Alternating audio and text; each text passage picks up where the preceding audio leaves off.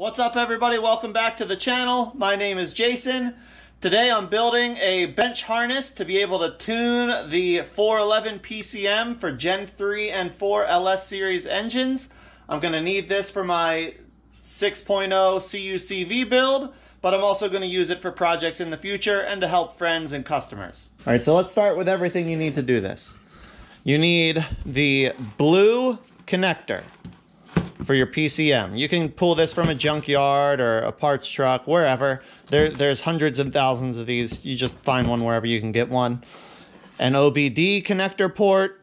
Uh, again, you can probably get one of these out of almost any 1996 or newer vehicle. The whole point is that they're universal. So doesn't matter what you get it out of, but you need that connector. You need an AC adapter. This one converts from 120 volt wall power to 12 volt direct current and 2 amps. Uh, this is from an old tablet that we had laying around in the basement. Uh, but you can, there, there's millions of things that use a little adapter like this. You need something that preferably hits between 12 and 19 volts and a minimum of 1 amp of current. Uh, the Otherwise, you're going to have issues, but 12 to 19 volts, 1 amp is what you're looking for. So, your OBD connector plug should have four wires coming out of it. Most of them will have four wires. The two black wires here in the center are going to be ground wires. Purple is your data wire, and orange is a power wire. That you don't really need to mess with. Your PCM connector, you, you don't need to de-pin all the wires you're not going to use. I'm going to do it just to clean it up. But you really only need four wires out of this. You get the little plastic cover off the back of here first. It just pries loose. And then there's four wires that you need to keep.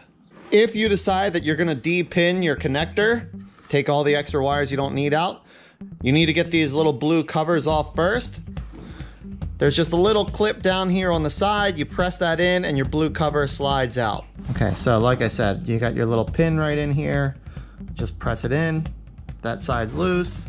Same on the other end. Just press it in. That connector comes off, or that cover rather. Do the same thing on the other side. Okay, so I'm gonna de-pin this connector. I need to get out all the connectors that I don't, all the wires that I don't need. All of the connections, all the wires are labeled by number right here at the top. I know I need wire pin number one, that's a ground. Then right next to it, two, three, and four, I do not need. The easiest way I know to remove them is just grab that pin with a little pair of pliers and just pull that wire right through.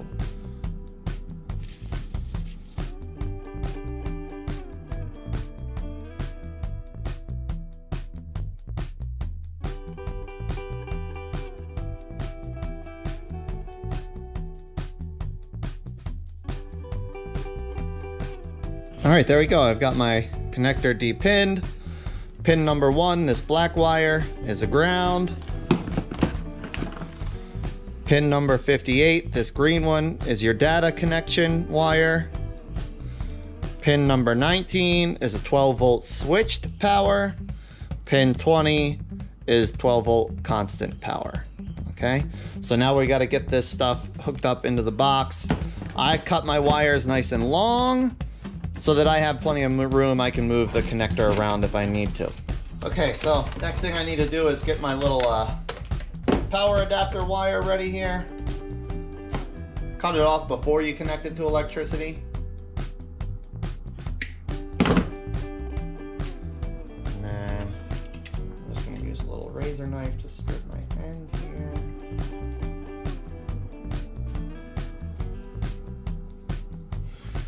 Got my multimeter set to voltage.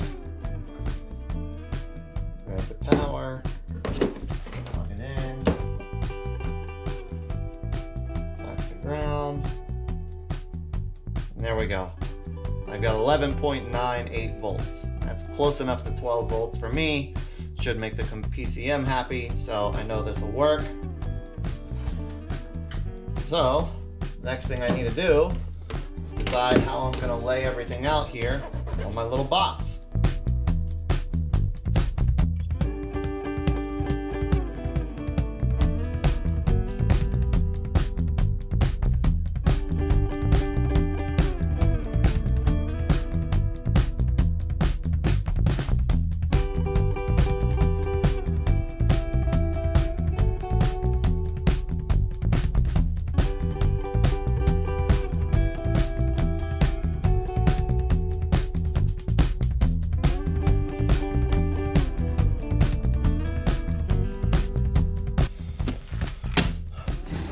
So, got my power feed.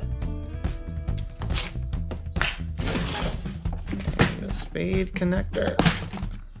Teeny one. There we go. So that's my main power supply.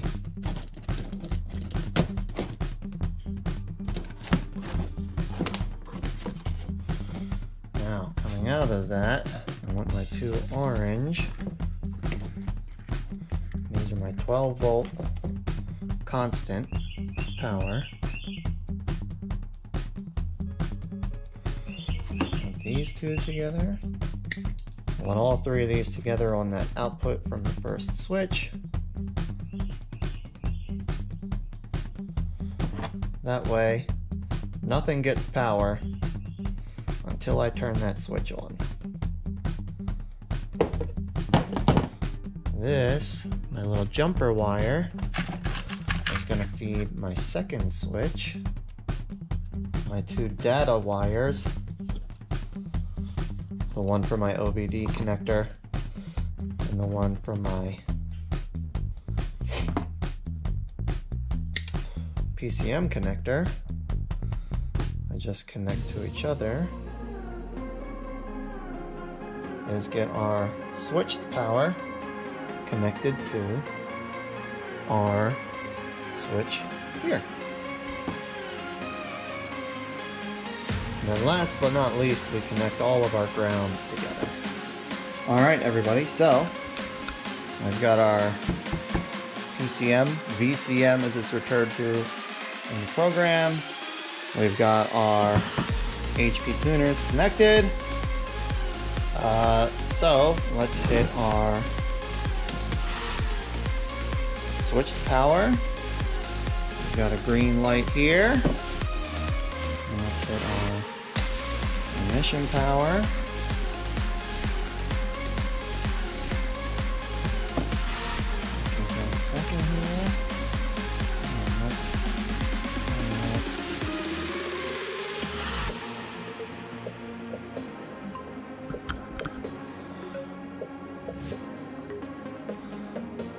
See if we can, let's make this bigger. See if we can read.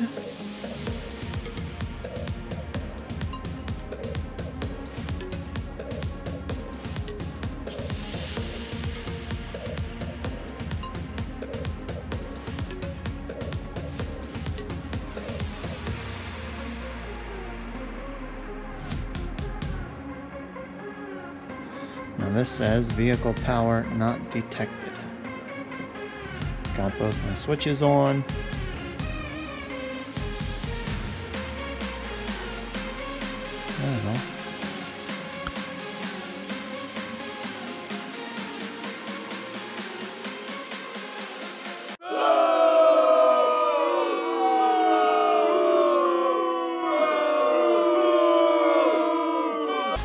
We're back. We got this, I think I got this figured out now. So, turns out my power supply here is a, it's a, it's a regulated in the transformer power supply.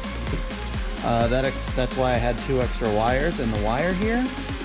And what I need is just a dummy power supply that just provides 12 volts. That's all it does. This one is regulated inside Apparently when the tablet was reaching full, it slowed it down to a trickle charge instead of a full strength charge. And basically I just had too smart of a 12 volt inverter. So I'm gonna wire in this other inverter I had. This is a much older one. It's just a straight 12 volts or no volts. It doesn't have variable voltage.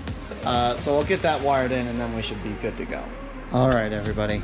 I think that did the trick for us. I'm gonna flip our main power on, switched power on. We got a bunch of blinking lights. That's a good sign. For read vehicle. Other information. There, now we're getting something out of it. Says this is 2002 Sierra 1500 5.3 liter. Yep, that's the vehicle this PCM came out of. Let's read. Almost there, A couple more seconds. Three, two, one, zero. That's cleaning up. And we've got it. There we go, ladies and gentlemen. Bench harness complete. I'm gonna learn to tune on my own project and I'll, I'll share that with you guys when we get to that point. But I'm super excited, another step closer and uh, another what hopefully will be a very handy and useful tool going forward for this project and other ones. If you haven't already, make sure you subscribe so you can keep up with this whole project and I'll see you in the next video. Thanks so much for watching.